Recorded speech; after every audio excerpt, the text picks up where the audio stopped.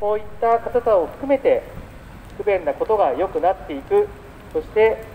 今困っている人たちが助けられる。そういった世の中にしていくためにもこの斉藤理恵ぜひ斉藤理恵を応援していただきたいと思います。マイクを持ちますのは太田区議会議員平野晴持でございます。そして国政には今ビラも配っていただいてます。井戸正恵井戸正恵が挑戦してまいります。元衆議院議員の井戸正恵。井戸正恵は5児の母無戸籍で問題に取り組んでまいりました。そういった社会的に弱い立場の方社会的に弱い立場の方に対してずっと支援をしてまいりました。もちろん今も支援をしております。今こそこういった方が議員となってぜひ皆様のためにこの日本を変えていく。こういった必要があるのではないでしょうか。そして斉藤理恵もそういった10歳の子供を持つシングルマザーそして聴覚障害の当事者として頑張ってまいりました。当事者だからこそできることがある。こういったことがあります。北区の中の議会の中でもそういったものを使ってタブレットが使われたりそういったものがどんどんと導入されました。こういったものを当事者だからできる当事者性があるからできるこういったものでございます。ぜひ皆様もそういった今の政治に不満があることに対してぜひこの斉藤理恵を使っていただきたい。その斉藤理恵が都政に挑戦する思いの決意政策がこのビラに書いてあります。ぜひ手に取っていただき見ていただきたいと思います。今も本人手を振っております。ビラを配っております。助けをかけて回っておりますのでぜひ声をかけていただき少しニコッと笑顔で笑っていただき本人も頑張っていきますのでぜひよろしくお願いいたします。そしてこの地元の井戸正恵衆議院議員選挙に挑戦するのは井戸正恵でございます井戸正恵も一緒になって今斉藤理恵のビラを配布しておりますどうぞ手に取っていただき見ていただければと思います都議会議員選挙にはぜひこの斉藤理恵新人ながら頑張っておりますもうあと一歩まで来ておりますのでぜひ斉藤理恵を応援していただきそして皆様の思いをこの政治を変えるまず大田区を変える都政を変えるこういった思い今小池都政では残念ながらまだオリンピックをやるこういった話もあります。果たしてこれでいいのかこういったことを思っていらっしゃる方も多くいらっしゃると思います。そういった思いもぜひ斉藤理恵に託していただきこの斉藤理恵が都政を変えてまいります。この一人親そして聴覚障害を持った障害当事者これだけではなく今立憲民主党も力を入れております。子育て政策人口が減る中でこの子育て政策を何とかしなきゃいけないこういった思いもその政策の中には入っております。ぜひこの斉藤理恵斉藤理恵を応援していただき皆様の力で皆様の代表としてこの大田区都議会議員選挙斉藤理恵を選んでいただきたいと思います。ありがとうございます。ビラを取っていただきありがとうございます。そして今日は本当に多くの方が集まっていただいておりこのボランティアの方もねどんどん駆けつけていただきビラを配っていただいております。ぜひありがとうございます。手に取っていただき見ていただければと思います。斉藤理恵の都政に込めた思いが書いてあります。そして今日この2連のポスターにも載っておりますが井戸正恵5児の母の井戸正恵も頑張っております。立憲民主党は女性2人都議会議員選挙には斉藤理恵斉藤理恵をそして衆議院議員選挙には戸正恵井戸正恵をこの皆様に自信を持ってお送りしております。ぜひその思いそしてそういった政策が書いてあるビラを受け取っていた見ていただければと思います。マイクを持ちますのは地元浜田の太田区議会議員平野春持でございます。皆さんこんばんは。本当1週間お疲れ様でした。今日もようやく仕事が終わった。でもまだ今から本当は仕事に行かれる方もいるいらっしゃるかもしれません、まあ、本当にいろいろな思いを持って新型コロナの中で今緊急事態宣言が出ておりますのでなかなか蒲田町といえばもう本当に外で飲みたい方もいらっしゃいますが今日もまっすぐ家に帰ろうかこういった方もいらっしゃると思います。もうなかなかワクチンがまだ接種が始まらないそういった声もいただいております。大田区5月の21日までに高齢者の方にまずはこのワクチン接種券が届いて集団接種の予約が21日から始まります。21日と25日に始まる予定となっております。もうしばらく待っていただく。それまではしばらくはこう自粛自粛をお願いするような形になりますがどうかご協力をいただければと思います。もう本当に今日も1週間お疲れ様でございました。そしてこういった自粛の生活を何とかしたいそういった思いを持ってらっしゃる方も多くいらっしゃると思います。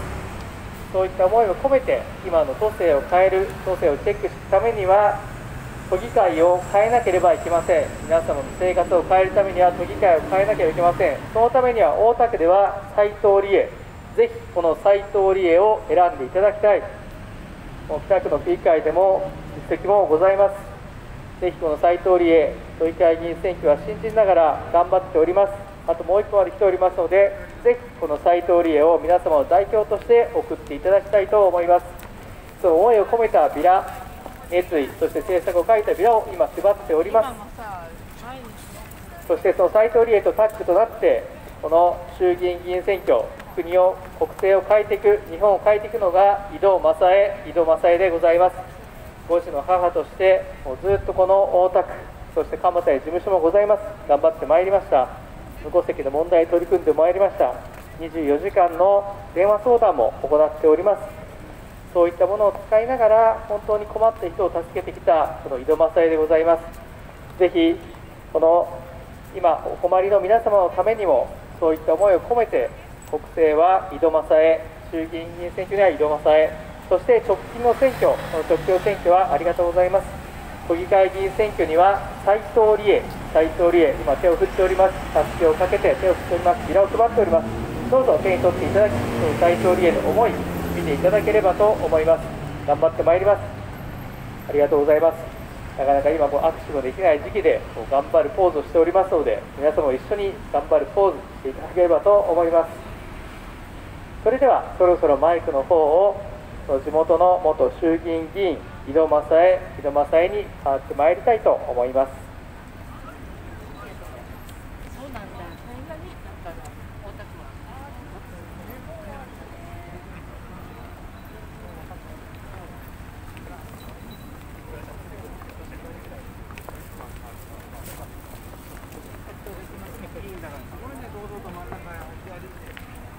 立憲民主党でございます。え今日は斉藤理恵、今、ビラを、今、右手を振りました。斉藤理恵、えー、そしてこれまで今、お話をさせていただきました大田区の、えー、コロナウイルスに関してのワクチン接種、えー、遅れてしまうということが今日、え分かったということを、区議会からの報告を平野晴持大田区議会議員からさせていただきました。私は元衆議院議員の井戸正恵です。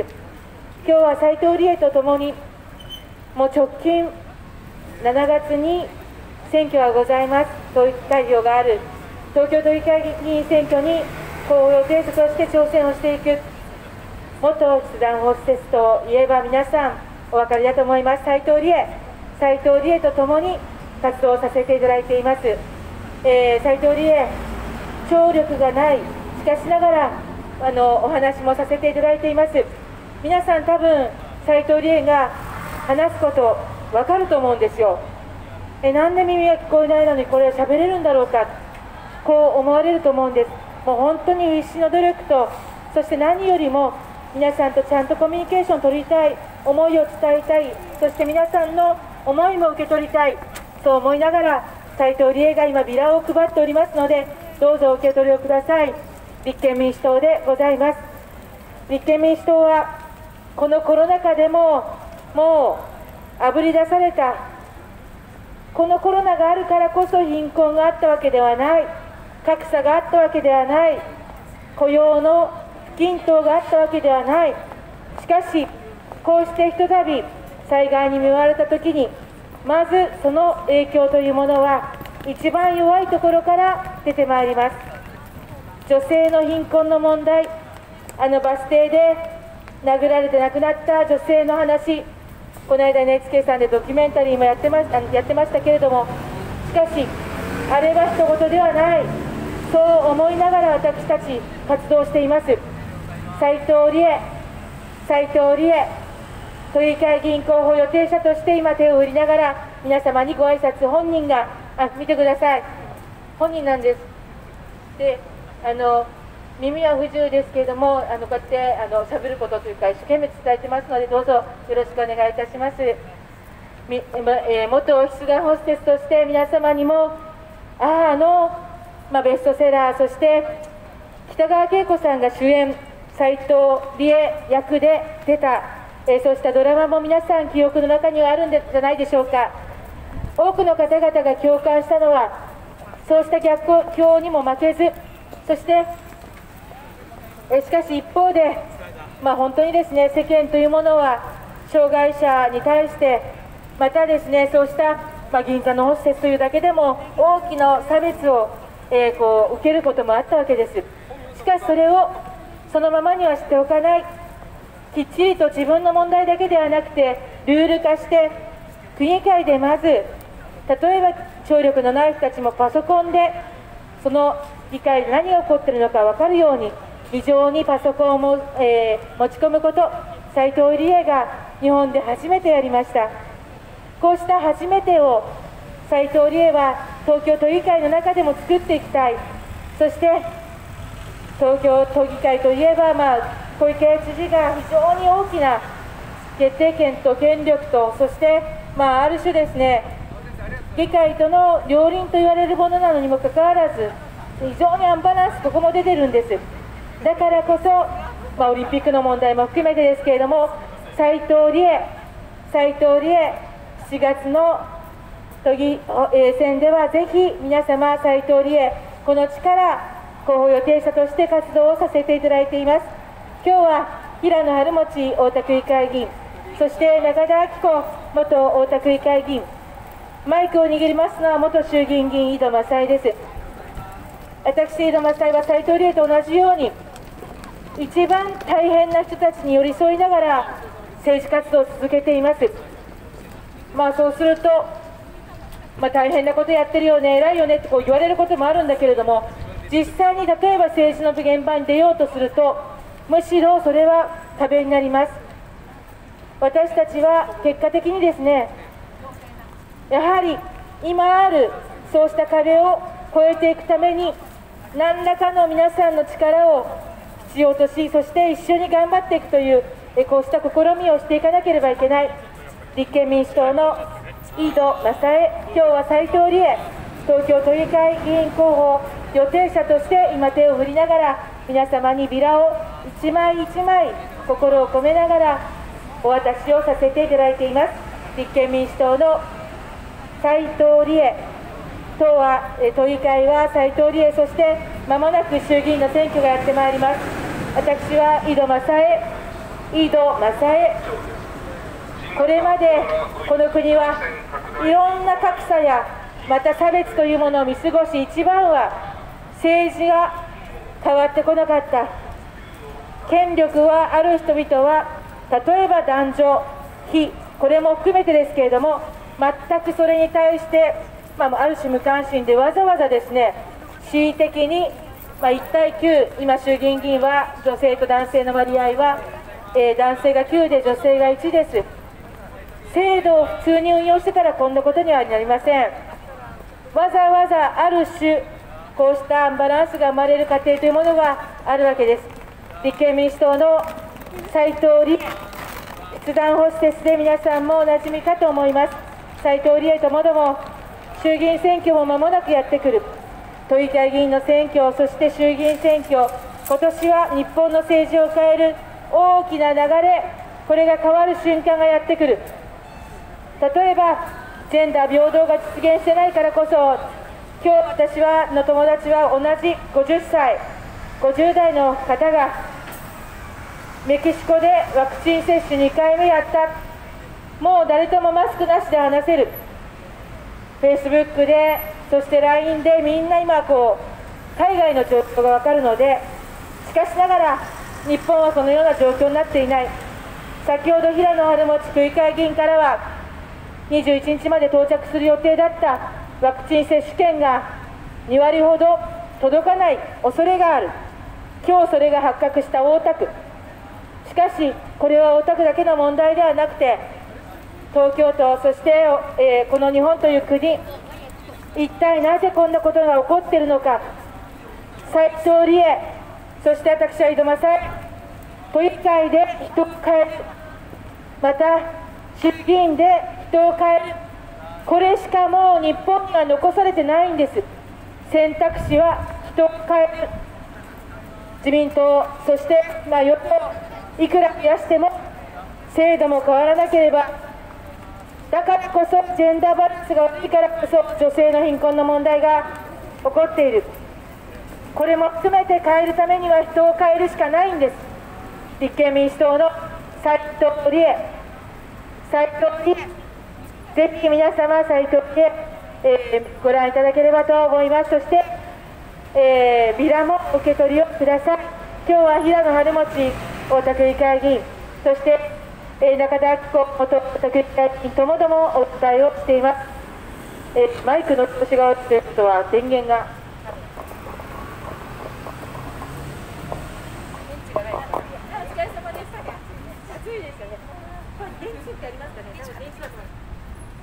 え、立憲民主党でございます、えー、本当にこのコロナで今緊急事態宣言なんだけれどもしかしながらちょうど1年前の今頃には都議選がありました。その頃の人出と今とでは全く違います。1年経って私たちも慣れたのかもしれない。しかしながらやはりここで感染拡大を防止していくためにはどうしたらいいだろうか。一番のその、えーえー、政策というのはワクチン接種。しかしながらそれが本当に遅れてます。だからこそ私たちは変えなければいけない。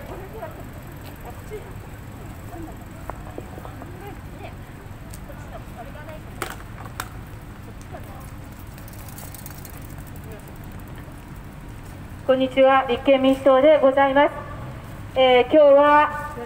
皆様にお訴えをさせていただいています。斉藤理恵まもなく都議補選あの都議会議員の選挙が行われます。斉藤理恵は立憲民主党が公認をいたしました。そして来るべきあと50日と迫りました東京都議会議員選挙。皆さんがコロナに対策に対して怒っている不安である。何とかしたいと思うのであれば直近の選挙でその意思を示していただきたいと思います。斉藤理恵斉藤理恵。そして私は次の都議選の後であろう。まあ衆議院ですので解散はいつあるかわからない。明日かもしれない。あ明日は土曜日ですがないですけれども来週かもしれない。再来週かもしれない。衆議院の選挙では私井戸正恵。元衆議院議員の井戸正恵本人でございます。ぜひ、えー、斉藤理恵、そして私、井戸正恵、今回は、今年はこの2つの大きな東京都は選挙があります。斉藤理恵本人からビラも受け取りをいただきたいと思います。まず都議会議員選挙、今、大田区には8人の都議会のえー、議員がいます。一方で皆さんはその東京都議会議員8人を全員言えるでしょうか。彼らがこの4年間何をやってきたのか。そして小池都政に対してどういう思いを持ってきたのか、えー、そうしたことも含めてぜひですねきっちり見ていただきたいと思います。そして斉藤理恵が今ビラを配っている。そのビラとまあ、比べてみていただきたいんです。皆さんが斉藤理恵これまでどんな歩みをしてどんな人生を送ってそして、まあ、あの筆談ホステスということで皆さんご存知だと思うんですけれどもそれから区議会議員に、まあ、政治家として転身をしてどんな仕事をしてきたのか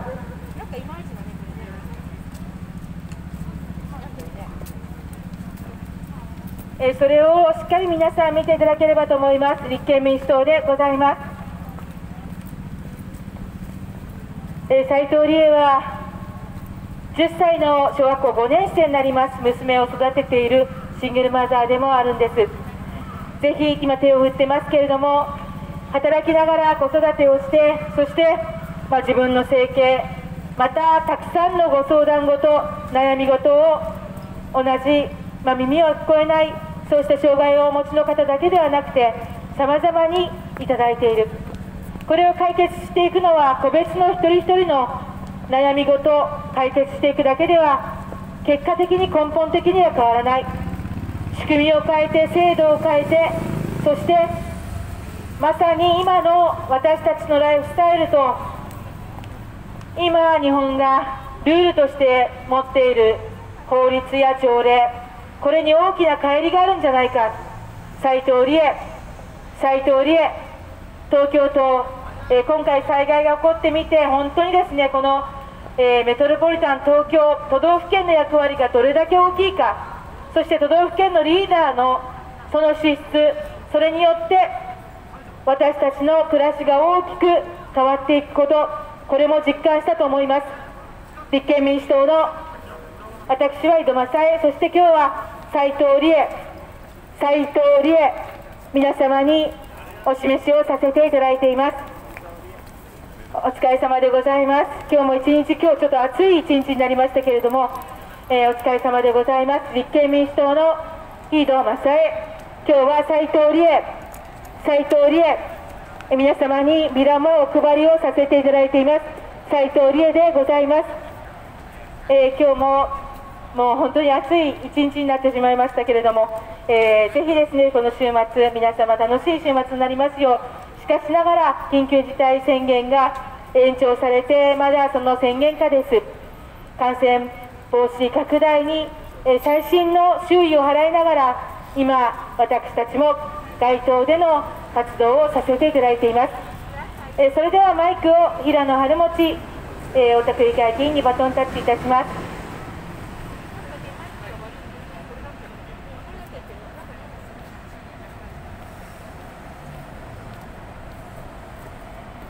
はい皆様こんばんは。立憲民主党の太田区議会議員平野晴持でございます。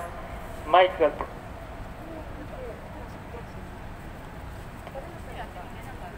ああ。立憲民主党の太田。立憲民主党の太田区議会議員平野晴持でございます。今日はこの JR 蒲田の東口で斉藤理恵斉藤理恵の応援にやってまいりました。斉藤理恵は夏の都議会議員選挙に挑戦する。立憲民主党から自信を持ってこの候補者をしておりますのが斉藤理恵斉藤理恵でございます。今手を振っております。そしてたすきをかけてビラを皆様に届けております。ぜひこれを見ていただき斉藤理恵がどういったことを訴えているのかそしてその熱意ぜひありがとうございます。見ていただければと思います。今この小池都政都議会が都民ファがこの1位第第一の政党ということで今全くチェック機能が働いておりません。それをぜひこの立憲民主党の議員を増やすことによって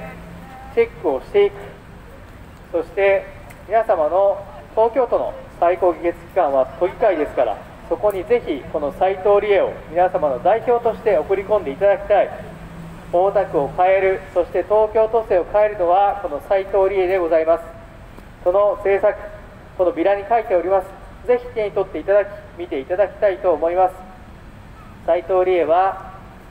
1人の一人親シングルマザーでございます。10歳の子供を持つシングルマザーでもございます。そして耳が聞こえない聴覚障害を持っておりますがその障害者の特性を生かして皆様の心の声が聞けるそしてご意見をしっかりとじっくりと聞くことができるそういった力を持っております。2015年北区の区議会議員として初当選してその当時北区では、まあ、もちろん東京都内もですが手話言語条例などこういったものはなかった。しかし斉藤理恵も働くことによってそういった条例ができました。大田区も去年そういった手話言語そして障害者の意思疎通に関する条例ができました。今都内で23区で14、15そういった自治体が今こういった条例がある。全国では400の条例があります。こういったもののきっかけになったのもこの斉藤理恵でございます。ぜひその力を生かして当事者性を生かしてこの東京都政を変えてまいります。ぜひ皆様の力でこの大田区からは都議会議員選挙には斉藤理恵ありがとうございます。ぜひビラを見ていただき内容を見ていただければと思います。こういった聴覚障害障害者だけではなくひとり親家庭そして子育てそういった教育こういった政策もしっかりと訴えて訴えてまいるのがこの斉藤理恵でございます。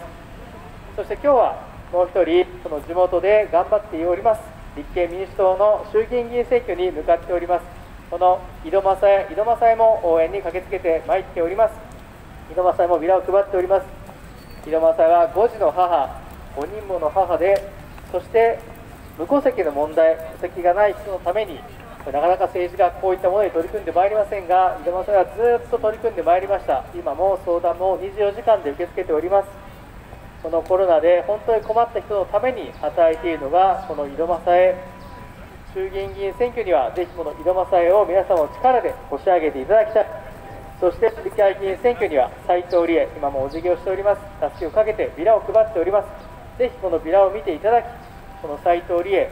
都議会で何をしていくのか東京都をどう変えていくのかぜひ見ていただければと思います。手に取っていただき見ていただければと思います。そしてマイクを持ちますのはこの地元の大田区の区議会議員平野晴持でございます。今新型コロナの猛威が本当に振るっておりまして変異株が9割というような報道も出ております。その中で皆様が一両の望みをかけているのがこのワクチン接種でございますが大田区では5月の21日ワクチンの接種券まず高齢者の方からまずこう郵送に届くという話でしたが昨日の健康福祉委員会で残念ながらこれが少し2割ぐらいの方が遅れてしまう5分の1ぐらいの方が遅れてしまうような話もございました。なんでこういったことが行っているのか本当に残念な形。これもまあ私たち立憲民主党だけではなくて多くの他の区議会議員の方もなぜこうなってしまったのか大変紛糾しております。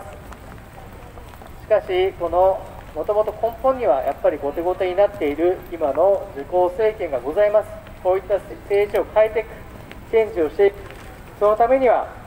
夏の都議会議員選挙には、斉藤理恵、ぜひ斉藤理恵を皆様の代表として、皆様の意見の代弁者として押し上げていただきたいと思います。斉藤理恵はシングルマザー、一人親でもございます。10歳の子供を持つ斉藤理恵。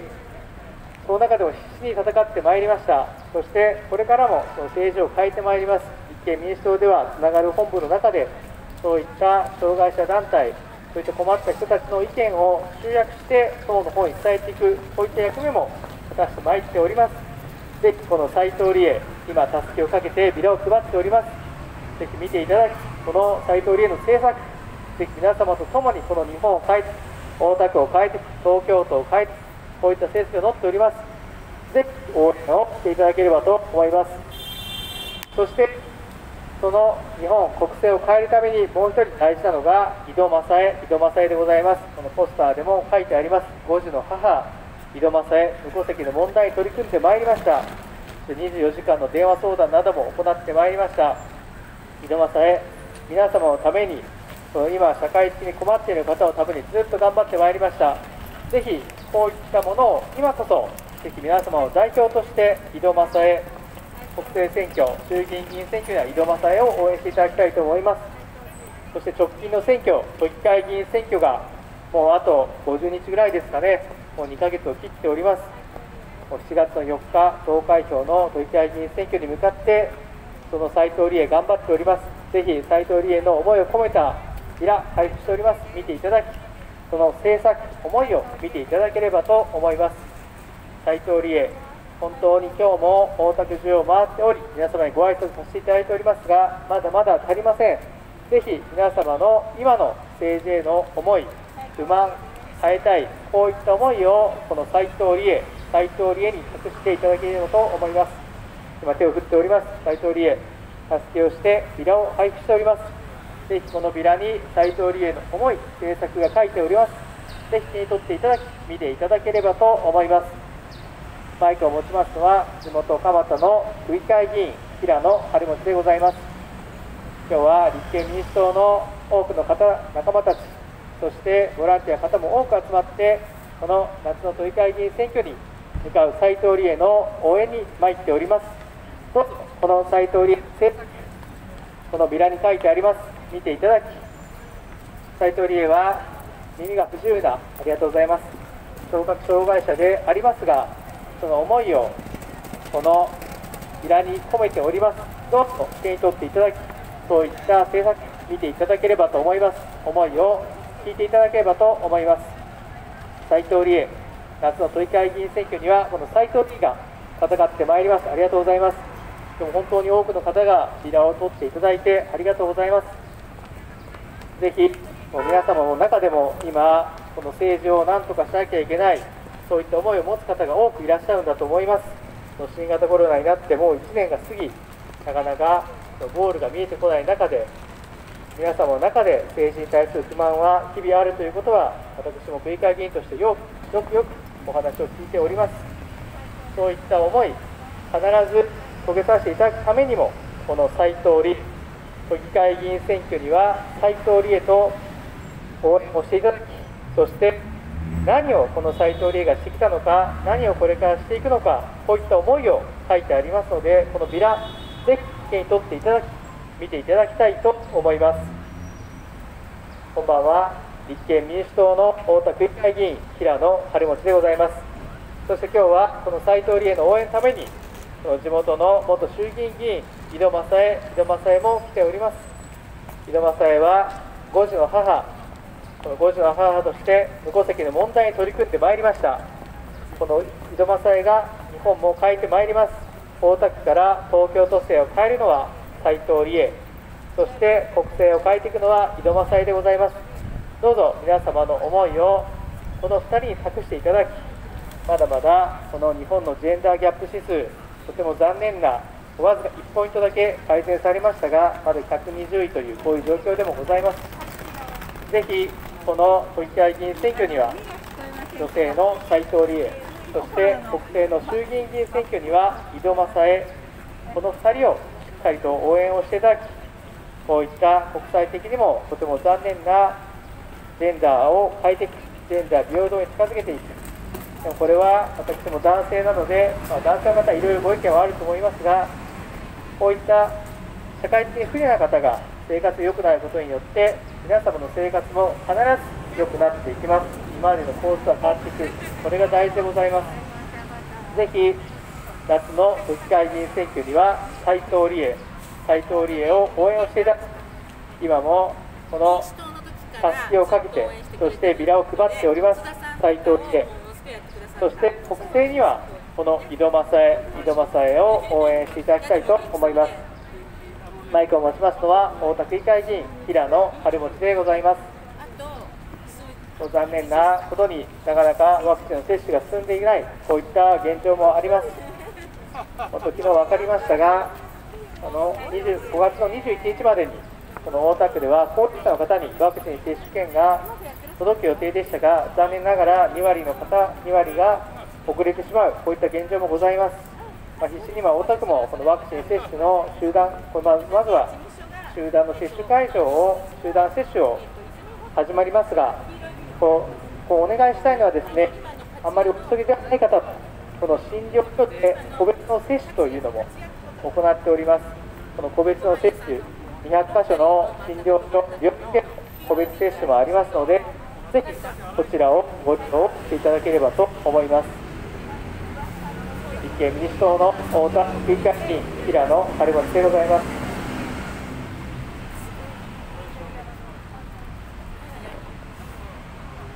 ぜひこういったこともご理解をいただき集団接種会場をまずは予約始まりますが個別の接種でもいいという方こちらの方がご自宅でも接種ができますのでワクチン接種はこういった皆様のかかりつけのお医者さんを通して200の診療所でできますのでこういったところでそのワクチン接種をしていただくのも一つの手段かと思います。マイクを持ちますのは太田区議会議員平野晴持でございます。今日は夏の都議会議員選挙斉藤理恵の応援に参りました。斉藤理恵。斉藤理恵が今日はたすきをかけて皆様にその思いを伝えるためにこのビラを配っております。多くの方も今日応援に来ていただきビラを配布しております。どうぞそのビラを見ていただき斉藤理恵の思いそして政策そしてこれまで何をやってきたのかこういったことを見ていただければと思います。斉藤理恵2015年には北区の区議会議員として初当選させていただきそしてその耳が聞こえない聴覚障害者として当事者性を持ってこの政治を変えてまいりました。北区の区議会を変えてまいりました。斉藤理恵その力当事者性必ずこの大田区でも役に立ちます。皆様のお役に立てることができます。そういったものをぜひ進めてまいりますのでこの斉藤理恵斉藤理恵を応援していただき皆様の力皆様の代弁者としてこの斉藤理恵を都議会に東京都議会に押し上げていただきたいと思います。立憲民主党の斉藤理恵ぜひ皆様の力で皆様を代表として都議会に押し上げていただきたい。ありがとうございます。斉藤理恵本日は本当に多くの方にこのビラを取っていただきその政策も見ていただいております。どうぞ皆様の力でこの斉藤理恵を押し上げていただきたいと思います。そしてこのポスターにも載っております井戸正恵この国政選挙衆議院議員選挙にはこの大田区から井戸正恵が挑戦してまいります。衆議院議員選挙は井戸正恵そして都議会議員選挙は斉藤理恵この2人のタッグでこの政治を変えてまいります。ぜひ皆様の力で都議会議員選挙には斉藤理恵斉藤理恵をよろしくお願いいたします。そして衆議院議員選挙国政選挙はこの井戸正恵井戸正恵とぜひ皆様の力で押し上げていただきたいと思います。マイクを持ちますは地元の蒲田大田区議会議員の平野春持でございます。今日は斉藤理恵の応援弁としてこちら蒲田駅の JR 蒲田駅東口に参りました。斉藤理恵は10歳の子供を持つ一人親シングルマザーでもございます。そして耳が聞こえない聴覚障害の当事者としても頑張ってまいっております。こういった力斉藤理恵耳は聞こえませんが皆様の心の声に耳をそば立ててそしてメール筆談こういったものでご意見を聞いております。実は講話というもので口の形を見てその話が分かるのですが今残念ながらこのコロナでマスクをしている状態ですのでなかなかそれが分からないということがあります、まあ、そういったハンデもかかりながらもしっかりと斉藤理恵皆様のためにその新型コロナの東京都変えていきたいと思い持って東京都政に挑戦してまいります。東京都議会議員選挙挑戦してまいりますのでどうぞこの斉藤理恵の政策思いを入ったビラこのビラを見ていただきそれをぜひどんなこの候補者はどんなことを訴えているのかそして何をしてきたのかこういったのを見ていただきたいと思います。斉藤理恵斉藤理恵は今までも北区でこの手話言語条例が全くない状況の中で頑張ってまいりました。そしてその一つのきっかけとして斉藤理恵が北区で頑張ることによって北区でもこの手話言語条例できておりますし今大田区でも去年手話言語及びの障害者意思疎通の条例ができました。こういったものが23区でも15そして全国でも400近くこういった条例ができております。そういった皮切りになったその活動も行ってまいりました。ぜひそういった実績も持っております。斉藤理恵皆様の代弁者として都議会に送り込んでいただきたい。斉藤理恵は皆様のために働きます。今日も大田区中を回ってまいりました。で最後この JR 蒲田駅の東口に戻ってきて今皆様にご挨拶をしております。今手を振って助けをかけてビラを配っております。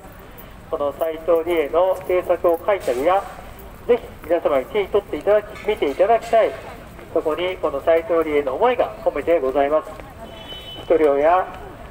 10歳の子供を持つシングルマザーとして頑張ってまいっております。その一人親政策そして子育て政策教育についてもしっかりと訴えていきたいご本人は申しております。そしてもう一つ斉藤理恵は耳が聞こえない聴覚障害者としての側面も持っております。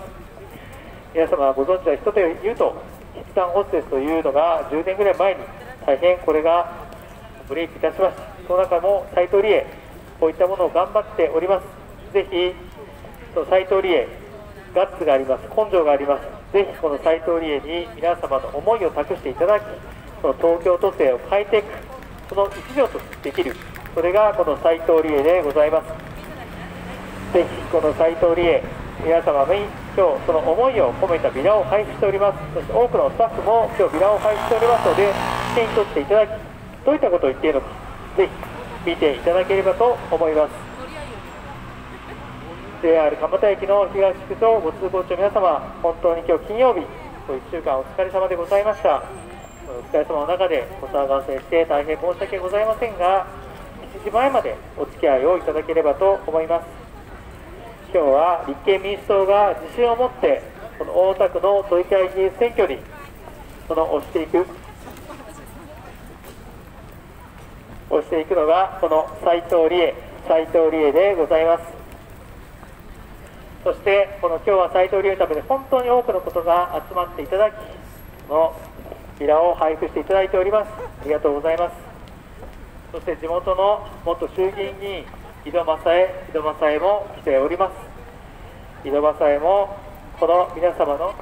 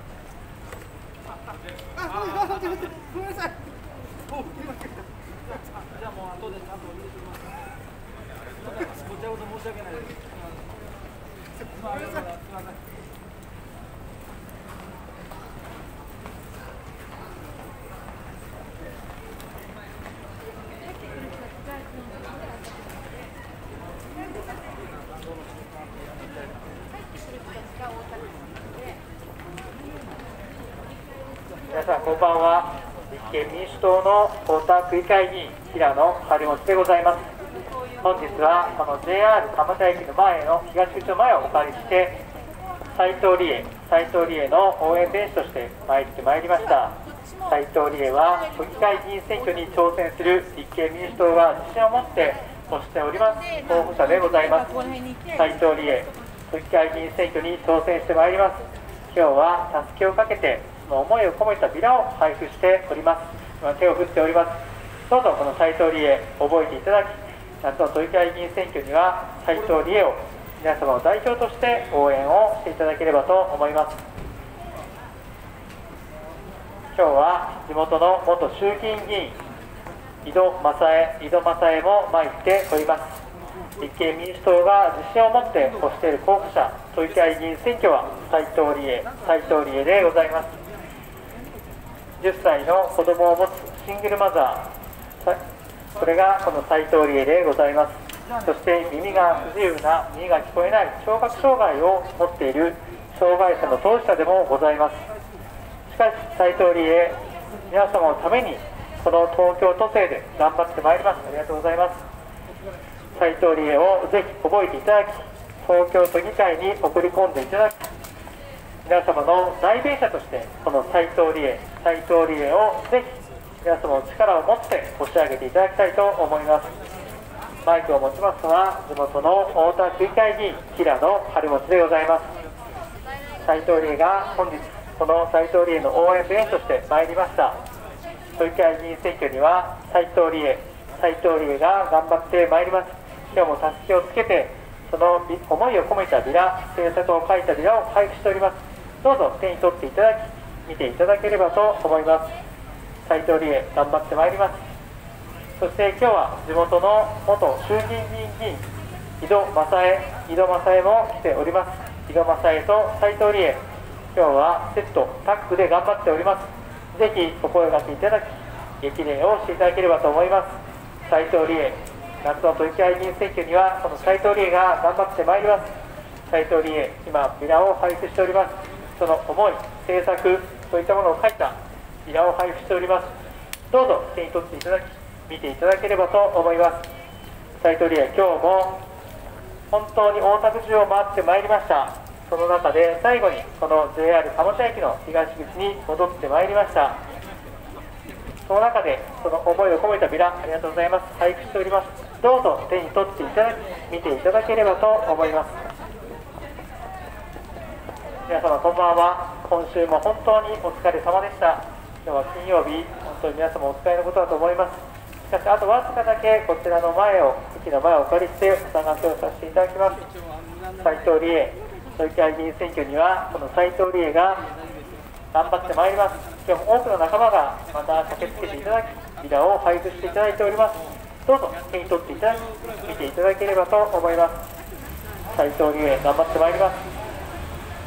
今日はちょっとマイクがですね調子が悪いのでこのメガホンについております。このマイクに変えて喋っております、まあ、こういったトラブルもありながらも頑張っておりますのでぜひ斉藤理恵夏の都議会議員選挙には斉藤理恵を応援をしていただき斉藤理恵の思いを込めたビラ今配布しております。その熱い思い熱意そして政策を書いたビラを配布しておりますのでどうぞ手に取っていただき見ていただければと思います。斉藤理恵が都議会議員選挙何を訴えていきたいのかこの東京都を大田区からどうやって変えていきたいのか書いてあるのがこのビラでございます。斉藤理恵今日本人もビラを配布しております。どうぞ手に取っていただき見ていただければと思います。斉藤理恵頑張っておりますのでぜひ激励もしていただければと思います。今日も本当に多くの方お声がけをいただきこの斉藤理恵耳は聞こえないのですがそういった皆様の声をまた手話通訳も含めて言葉本当はですね講話といって口の形で分かるのですがそのマイクをしている中でなかなか、ま、すみませんマイクでマスクをしている中で分からないというこの昨今の事情がありますがサイトで頑張っております。ぜひいろいろなお声がけをしていただきスタッフからも伝えてまいりますので応援をしていただければと思います。この夏の都議会議員選挙には斉藤理恵斉藤理恵とぜひ皆様を代表として送り込んでいただきたいと思います。斉藤理恵2015年北区の警戒議員としてその議会に入った時にはまだまだ力がない新人でしたがそれでもその中で手話言語条例をはじめ多くの自治体でこういったものが広まってまいりました。斉藤理恵が一つのきっかけになったと思います。大田区でも去年初めてこの手話言語条例障害者の一つに関する条例ができました。今23区でも15以上そして全国で400以上こういった条例ができております。こういったものも耳が聞こえない聴覚障害としての当事者が持っている。当事者性があってのこの立ち上げでもございます。それをぜひこの都議会でも斉藤理恵頑張ってまいります。ぜひ皆様の代表としてこの斉藤理恵を東京都議会に送っていただきたいと思います。マイクを持ちますのは地元の大田区議会議員平野晴持でございます。今日は斉藤理恵夏を都議会議員選挙に立ち向かう斉藤理恵の応援弁士として参りました。ぜひこの斉藤理恵今日はたすきをつけてビラを配っております。どうぞ手に取っていただき見ていただければと思います。そして地元の元衆議院議員衆議院議員井戸正恵井戸正恵も来ております。今日は斉藤理恵を応援するためにその立憲民主党総力を挙げてこちらの浜田東口に集まっております。多くのボランティアの方をいただいております。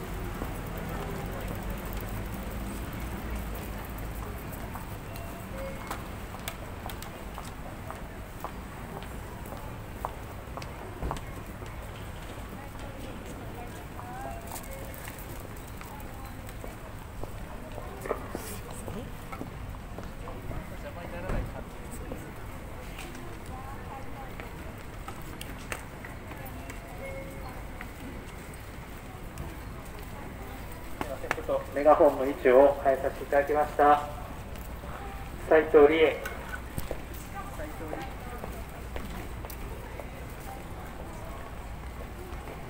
JR 蒲田駅の東口にお集まりの皆様本当に1週間お疲れ様でした。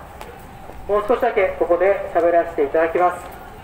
今日は立憲民主党の斉藤理恵のご紹介で参りました。応援弁士として参りました。斉藤理恵夏の都議会議員選挙にはぜひこの斉藤理恵を皆様の代表として送っていただきたい。斉藤理恵の政策を書いたビラを今配布しております。その熱い思いそして政策東京都政に向けて何を変えていくのかこういったことが書いてあります。ぜひ手に取ってありがとうございます。手に取っていただき見ていただければと思います。斉藤理恵は10歳の子供を持つシングルマザーでございます。一人親家庭で頑張っております。そういった一人親の方そして耳が聞こえない聴覚障害の当事者でもございますその中で今までも必死に頑張ってまいりました。しこの立憲民主党の中のつながる本部こういった障害者の方お困りの方の声をその党の中で集めて集めていく。こういった仕事もしてまいりました。そういった実績を生かしてこの大田区でもこの斉藤理恵東京都政を変えてまいります。その当事者性というのを持ってこの斉藤理恵頑張ってまいります。ぜひその思いその政策を書いたビラ手に取っていただきその斉藤理恵が何をしてきたのかそしてこれから何をしたいのか何をこの東京の中で変えていくのか書いてあるこのビラをぜひ手に取っていただき見ていただければと思います。斉藤理恵は東京都政を皆様の代表として変えてまいります。ぜひ斉藤理恵皆様の力で押し上げていただきたい。東京都議会議員選挙には斉藤理恵斉藤理恵頑張ってまいります。立憲民主党が自信を持って推している候補者がこの斉藤理恵でございます。直近の選挙私も適当でずっと訴えてまいりました。今年は大事な選挙が2つございます。1つは夏の都議会議員選挙。そして10月の21日までに衆議院議員選挙がございますなかなか皆様が政治を変える、生活を変える、こういった機会っていうのはございません。今年はオリンピックが、私の中ではここからちっちゃい声に聞きますが、オリンピック、本当に今この状況にしていいのかと思っておりますが、この政治を変えるのは4年の1回の選挙しかございません。そして東京都に住んでいらっしゃる方、大田区に住んでいる方にとって、とてもとても大事な機会が、この都議会議員選挙でございます。その都議会議員選挙、ぜひ皆様に選挙に行っていただき、来年超かな大田区の中では、今まで8枠ありました、8人いましたが、7人になってしまいます。この中でしっかりと選んでいただきたい、その中で立憲民主党が自信を持って推せるのが、この斉藤理恵、斉藤理恵でございます。今日は本当に多くの方が応援に来ていただいております。元大田区議会議員の須田智樹も来て来ていただいております。本当に多くの方が来ております。ぜひ、この斉藤理恵の思いを込めたビラ、手に取っていただき、見ていただければと思います。立憲民主党が自信を持って推しているのが、この斉藤理恵、斉藤理恵でございます。皆様が今この新型コロナの中で大変な状況にあるいろいろなご意見を私たちも聞いておりますそしてそれを変える機会がこの都議会議員選挙そしてその都議会議員選挙には斉藤理恵斉藤理恵をぜひ皆様の代表として選んでいただきたい。斉藤理恵の思いを深めたビラを今日も配布しております。ぜひこれを手に取っていただきその政策そして思いをぜひ見ていただければと思います。バイクを持ちますのは地元大田区議会議員の平野春持でございます。JR 蒲田駅東口をご通行中の皆様大変お騒がせをしております。今日は金曜日ということもありまして1週間大変お疲れな方もいらっしゃると思います。その最後にこの斉藤理恵でどういったことを訴えているのか都議会議員選挙斉藤理恵の今までやってきたこと思い政策それを込めて書いてあるのがこのビラでございます。ぜひ手に取っていただき、見ていただきたいと思います。立憲民主党の斉藤理恵、皆様に今日もこのビラを配っております。皆様にこの思いを理解していただきたい。ぜひ、この斉藤理恵、自信を持っておせるのがこの斉藤理恵でございます。斉藤理恵は、10歳の子供を持つシングルマザー、ずっとその中で頑張ってまいりました。そして、耳が不自由な、聞こえない、聴覚障害を持っている当事者でもございますそういった当事者性を持ってしっかりと社会的に困っている人たちを助けていくそういった決意を持ってこの都議会議員選挙に立ち向かってまいります。ぜひこの斉藤理恵皆様の力で押し上げていただきありがとうございます手を振っていただきご援助ありがとうございます。頑張ってまいります。ぜひこの斉藤理恵頑張ってまいります。今日助けを込めて助けをかけて手を振っております。今、白い手袋をして手を振っております。どうぞ、斉藤理恵、ビラを配っておりますので、手に取っていただき、見ていただければと思います。それでは、マイクの方を、元、この大田区の区議会議員でもある津田智樹、津田智樹に感じまいりたいと思います。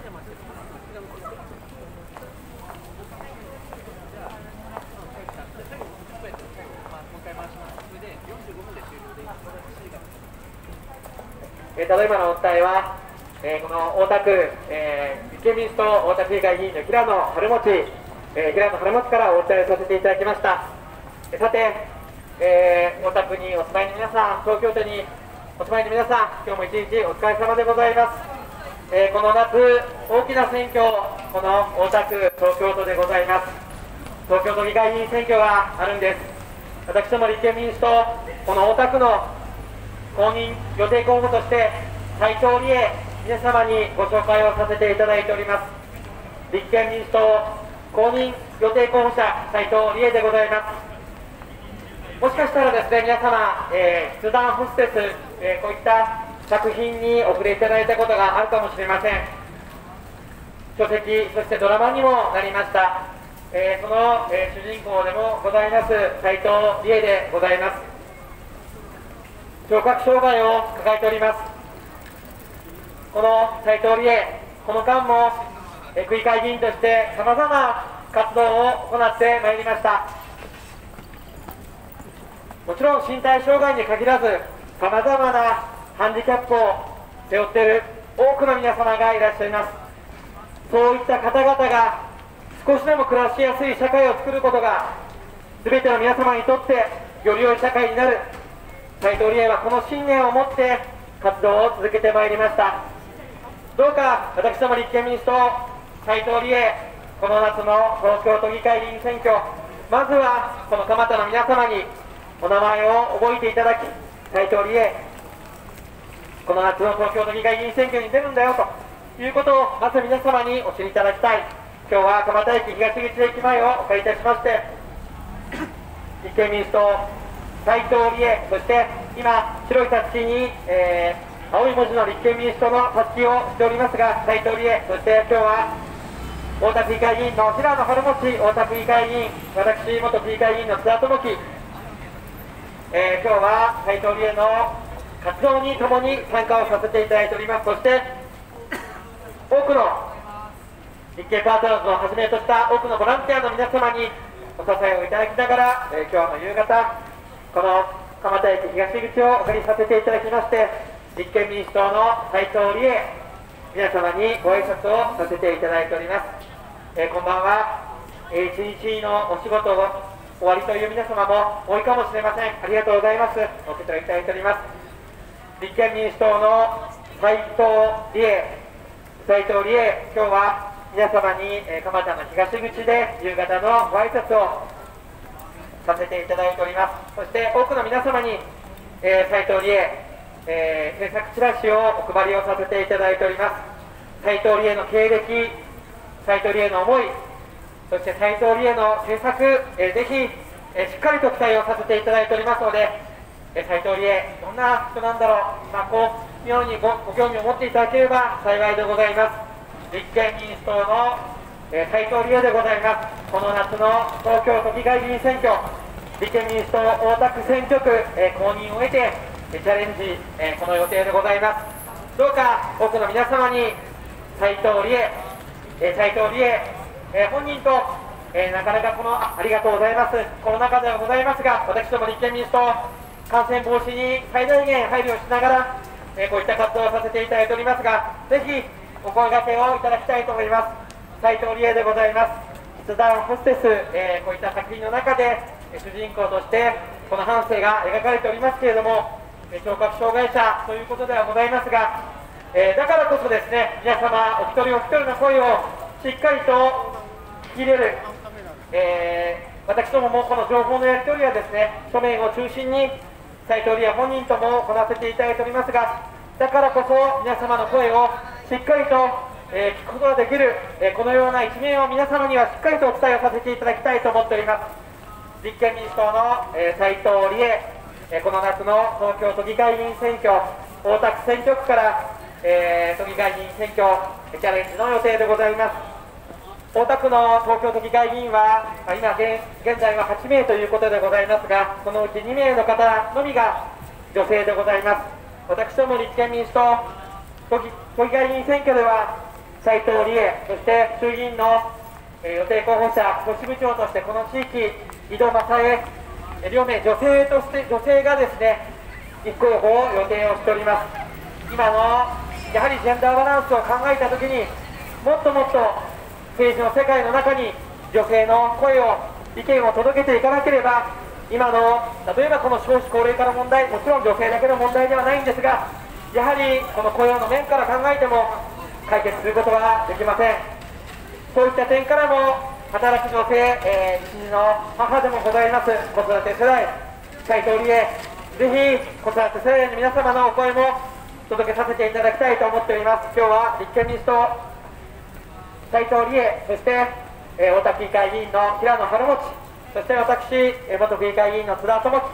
えーこの蒲田駅の東口お借りをさせていただいてご挨拶をさせていただいております。立憲民主党でございます。あありがとうございます。受け取りいただいております。そして、えー今日は、えー元小田議会議員の中田敦子さん。そして、えー元参議院議員の山村照次さんも今日は斉藤理恵の応援に駆けつけて、えー皆様に、えーチラシ配りの方も行わせていただいております。立憲民主党でございます。こんばんは。えー一日のお仕事、えー終わりという皆様もそろそろ増えてきている時間帯かと思いますがお疲れ様でございます。立憲民主党でございます。こんばんは、え本日は斉藤理恵この夏の東京都議会議員選挙大田区選挙区から、え立候補、えー公認予定候補として、えー立憲民主党からですね自信を持って公認をさせていただいております。斉藤理恵斉藤理恵の、えー活動をさせていただいております。大きなマイクでお騒がせをしておりますが JR 蒲田駅、えー東口ご通行中の皆様には斉藤理恵ご紹介をさせてあありがとうございます。お受け取りいただいております。斉藤理恵、えーこの間、えーもちろん、えー、筆談ホステスの作品の中の主人公ということで皆様にも、えーご存知ご案内の方も多いかと思いますがしかし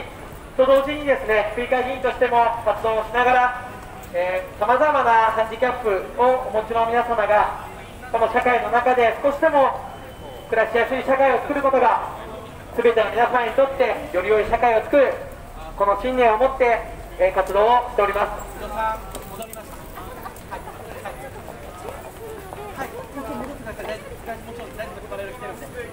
斉藤理恵でございます。こんばんは、えー、皆様に大きく手を振らせていただいております。立憲民主党の斉藤理恵でございます、えー、斉藤理恵、えー、聴覚障害者でございますがだからこそ皆様とのコミュニケーション。お一人お一人とのコミュニケーションを大切にして皆様の気持ちをしっかりとこの政治の現場に届けていきたい。この気持ちは誰よりもある。政治活動者であることは私ども自信を持って皆様にはそれをお伝えさせていただきたい。このように思っております。斉藤理恵。え今日は大田区議会議員の平野春持大田区議会議員そして私元区議会議員の津田智樹。え先ほどまではこの地域の総支部長井戸正恵もこちらの地域でこの場所で活動を共にしておりました立憲民主党、え協力を挙げてですねこの夏の東京都議会議員選挙、え大切な選挙だと思います。今のこのコロナ禍の状況の中で果たして皆様がどのような政治を求められているか私どももちろん皆様のご意見を伺いながら、えー、決めていかなければなりませんけれどもしかし皆様のお考えをお聞かせいただく大変重要な機会だと思っております。斉藤理恵、えー、大田区選挙区、え立憲民主党公認を得まして、え活動しておりますが今のこのコロナ対策が果たして皆様が良いと思っているのかそうでないと思っているのかそうでないということであればやはり私どもと共に今の政治の景色を変えていただきたい。そのためには立憲民主党都議会の中で今は大田区で議席が残念ながらございません。立憲民主党にですね都議会の議席大田区の議席をぜひ一つお任せいただきたい。斉藤理恵立憲民主党の公認予定候補として、え、活動しております。どうか、えー、蒲田の皆様に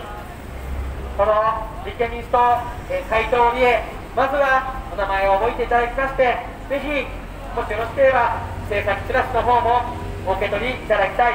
え心からのお願いでございます。それでは今日は6時45分まで、えこちらの場所で活動させていただくというように聞いておりますので平野春持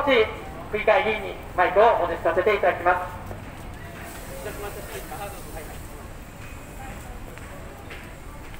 皆さんこんばんは。立憲民主党の太田区議会議員平野春持でございます。本日は今あの応援演説いただきました。元大田区議会議員の津田智樹そして元参議院議員の山村山村さんがいらっしゃっております。ありがとうございます。そしてこんだけ多くの仲間たちが立憲パートナーズをはじめいらっしゃっているのがこの斉藤理恵斉藤理恵の応援のために参っております。斉藤理恵その一人親シングルマザー10歳の子供を持つ一人親でもございます。そして耳が聞こえない聴覚障害としての面も持っております。斉藤理恵しかし皆様の気持ちをしっかりと一人一人丁寧に政治の現場に届けていくそういった思いを持ってこの夏の都議会議員選挙に挑戦してまいります。立憲民主党が自信を持って推している候補がこの斉藤理恵斉藤理恵でございます。どうぞありがとうございます。その思いを込めたそして政策を書いたビラを手に取っていただき見ていただければと思います。斉藤理恵北区ですが区議会議員も行いそして手話言語条例そういったものもまだまだ広がってない時期にこの斉藤理恵きっかけとなってこの北区でもそういったものが広がってまいりました。今23区東京都の中でも15区で大田区も去年手話言語そして障害者の一つの条例ができましたがこういったもの全国では400こういったものができていたその発端きっかけになったのはこの斉藤理恵でもございます。ぜひそういったこの斉藤理恵実行力そして皆様の意見を通していく力もございます。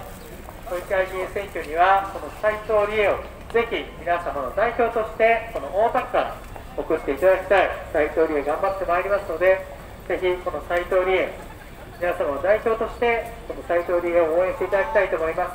その思い政策を書いたビラを今日は配布しております。助けをかけて斉藤理恵本人も配っております。どうぞ手に取っていただき見ていただきたいと思います。今日は本当に多くの仲間がこの斉藤理恵のために応援に駆けつけております。このマイクを持ちますのは太田区議会議員平野晴持そして元区議会議員の福田智樹そして元参議院議員の山村さん、こういった方もいらっしゃっております。ちょっと前まで、この元衆議院議員の井田正恵もおりましたが、そういったフルメンバーで、この斉藤理恵、斉藤理恵の応援に参っております。夏の都議会議員選挙には、斉藤理恵、ぜひ応援をしていただき、斉藤理恵は10歳の子供を持つシングルマザーでございます。そして耳が聞こえない聴覚障害者でもございます。しかし皆様の声一人一人丁寧に向き合ってそれを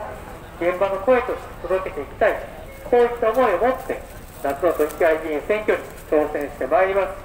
斉藤理恵ぜひ皆様の代表としてこの斉藤理恵斉藤理恵を押し上げていただきたいと思います斉藤理恵は10歳の子供を持つシングルマザー一人親でもございますそういった子育てをしながら、日々困っている方の意見も聞きながら、そういったものを東京都政に反映していきたい、そして耳が聞こえない聴覚障害者としては目を持っております。そういった多くの方、障害を持っている方、これは高齢者の方でも年を取ってくると、そういうふうに耳が聞こえづらくなる、目が見えなくなる、こういったことあります。な人間全ての方たちがこういった状況にある、そういったものをしっかりとそのバリアフリーもそうですし困ったことに対して現場の意見それを政治に届けていく。そういった思いを持ってこの斉藤理恵斉藤理恵頑張ってまいります。ぜひその斉藤理恵皆様の力で大田区の代表として都議会議員選挙に送っていただきたいと思います。斉藤理恵今日は手を振って助けをかけてビラを配っております。その思い政策を書いたビラを配布しておりますどうぞ手に取っていただきこの斉藤理恵どういったことを訴えているのかそれを見ていただきたいと思います。そしてどういったことをやってきたのかそういったものがこのビラにありがとうございます。書いてあります。ぜひ手に取っていただき見ていただければと思います。マイクを持ちますのは地元川田の太田区議会議員平野晴持でございます。そして今日は元区議会議員の津田智そして元参議院議員の山村さんも来ていただいております。そういったフルメンバーでこの斉藤理恵斉藤理恵を応援してまいります。どうぞこの候補者がどういったことを訴えているのかこのビラを見ていただきその政策思いそして今何がしたのか見ていただければと思います。都議会議員選挙今残念ながら現職は男性がほとんどということで女性が2人しかおりません。8人がいてこの中にぜひ斉藤理恵を入れていただきこのジェンダー平等を進めるためにもぜひ斉藤理恵を選んでいただきたいと思います。今日も斉藤理恵大田区中を回っていろいろな政策を訴えてまいりましたはい。